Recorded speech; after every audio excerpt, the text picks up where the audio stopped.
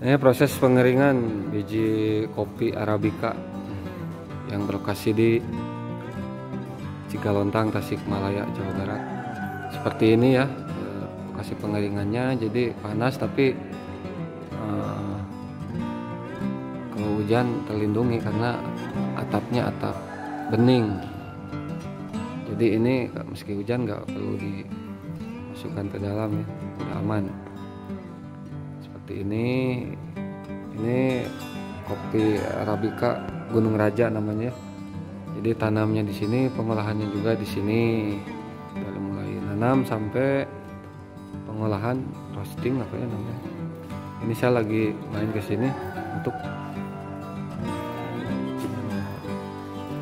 mencicipi. Nah, ini mesinnya mesinnya mesin pengolahan.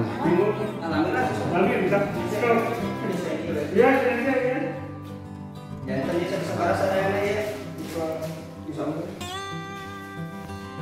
ya nah, ini pengolahan. Proses pengolahan. Biji kopi. Alami di sini alami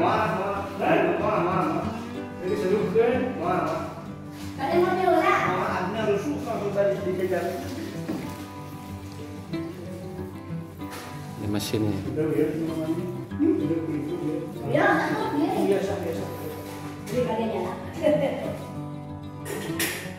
Nah ini gudang kopi mentahnya nih.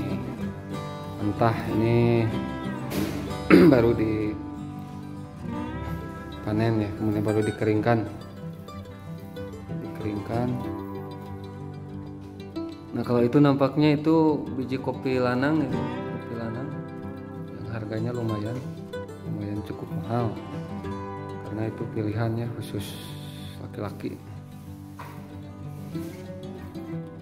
Gudang kopi mentahnya